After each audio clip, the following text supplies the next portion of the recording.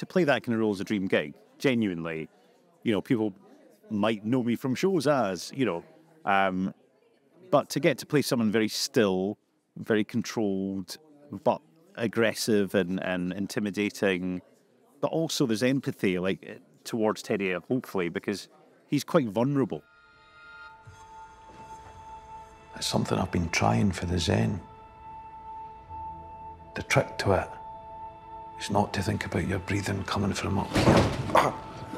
Teddy style is a combination, of course, of brilliant costume department, brilliant makeup department, and then I chip in a couple of ideas. I think because the writing's so clear, the image of Teddy came together really well, and and and that's the joy of doing TV is that the experts are, are all there to help the process to create the character. A friend of mine gave me a book.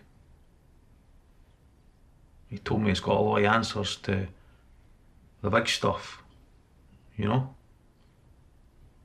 It's called Papillon.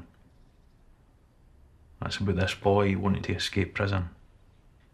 And I think what the book's trying to say is that the prison was in his head, so he couldn't ever escape it. I think Teddy read Papillon many times and then had to reread it many times. But I think Teddy understood Papillon very well, and it obviously had a massive effect on him because it's the first thing he really mentions to, to Max in series two when he comes out. You didn't belong in there, Maxie. But when I look at you now, I don't know if you belong out here either.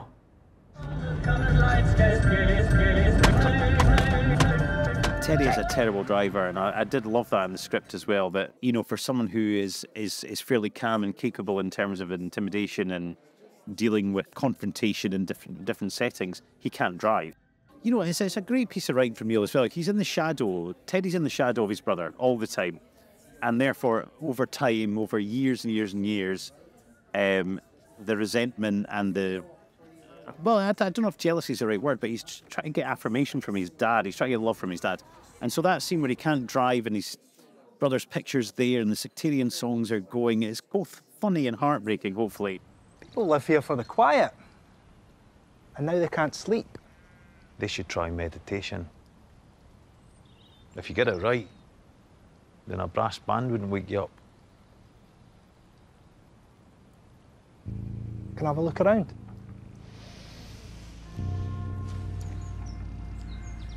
Have you got a search warrant? I could get one.